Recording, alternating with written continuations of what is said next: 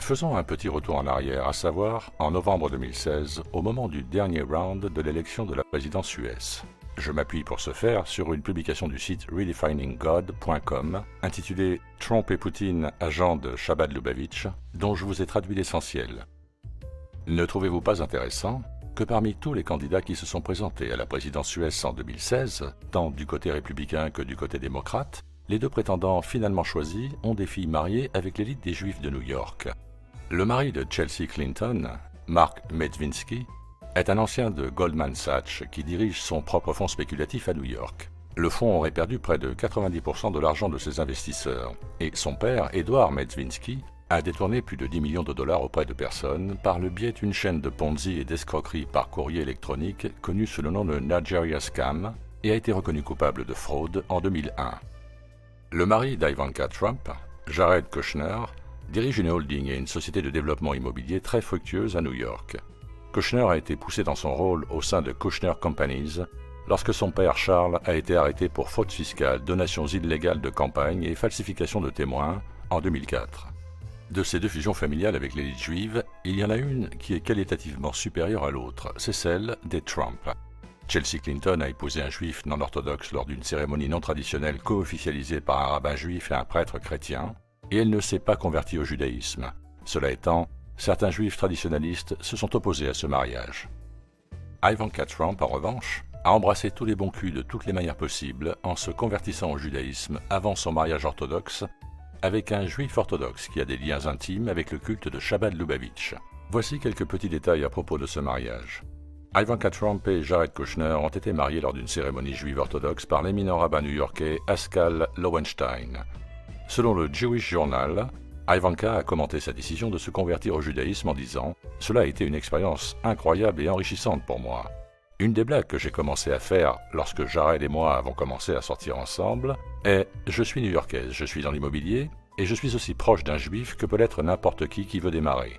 Et voici quelques détails sur la relation de Jared avec la secte Shabbat Lubavitch.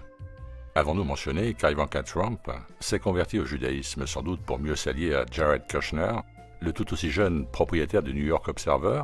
Nous l'avons fait. Ivanka n'a que 27 ans mais elle a récemment vendu aux enchères un stage avec sa participation au bénéfice de l'organisation hassidique Shabbat que son petit ami soutient.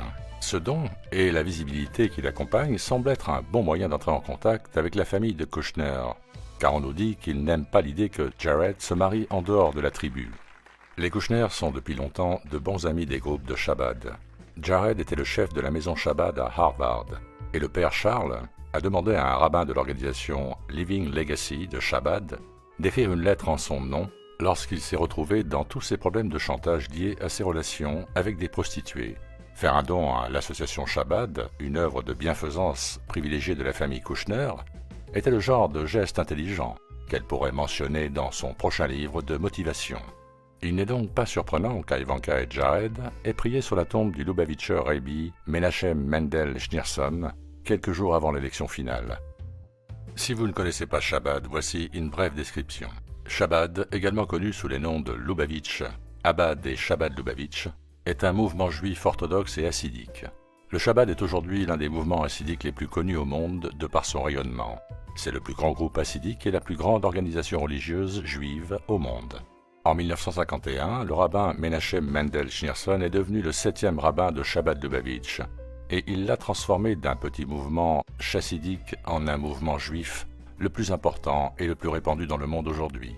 Il a mis en place un réseau de plus de 3600 institutions qui répondent aux besoins religieux, sociaux et humanitaires dans plus de 1000 villes, dans 80 pays et 49 des 50 États américains.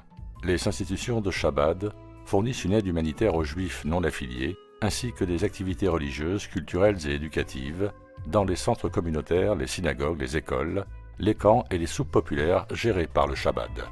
Il n'est pas surprenant non plus que Trump soit en partenariat avec l'élite financière juive, étant donné son parcours professionnel. Bien que les dormeurs naïfs semblent penser qu'il est indépendant du pouvoir de l'argent, puisqu'il a son propre argent, ils ne comprennent pas comment il l'a obtenu.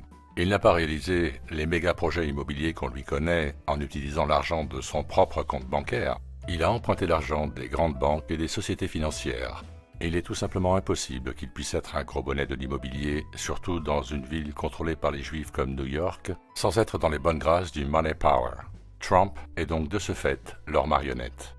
Quant à Poutine, il est également une de leurs marionnettes. À gauche, nous voyons Beret Lazar, son contrôleur de Shabbat Lubavitch.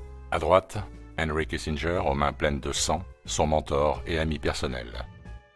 En conclusion, je dirais que sur la scène internationale, Trump et Poutine sont les deux faces d'un même shekel.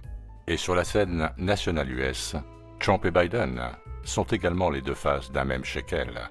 Ce qui revient à dire, concrètement, que lors des prochaines élections US, les Américains auront le choix entre la peste et le choléra. Mes amis, l'automne qui s'annonce va être très compliqué.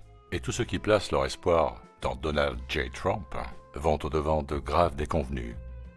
Merci de votre attention et à très bientôt sur ITV.